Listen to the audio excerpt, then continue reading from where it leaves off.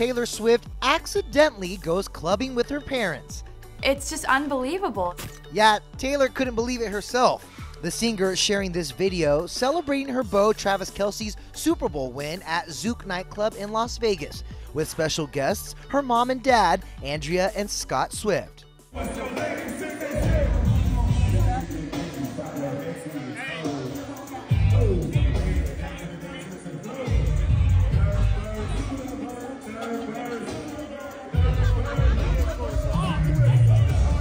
Tay looking a little guilty for bringing her mom and dad there, but it's all in good fun.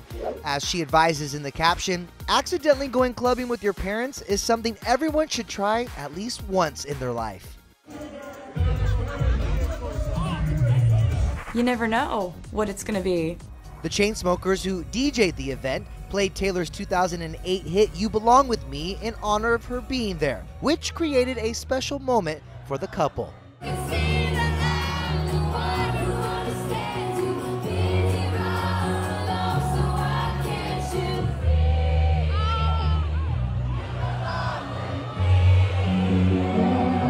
Chiefs, baby, all day. So, fingers crossed and good times there. Yeah, we're actually weirdly three for three. If we've been booked to play an after party, they typically the team that books us typically wins the Super Bowl. A source tells ET at one point Taylor sat on Travis's lap and they looked like they were in their own world even though all the attention was on them. They danced and sang Taylor's music and Travis is such a fan of her and loves her songs.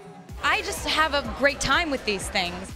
Andrea and Scott only hit up one club with Travis and Tay as the pair continued celebrating at the Wynn's XS nightclub with Trav's teammates, where they danced the night away until 5 in the morning.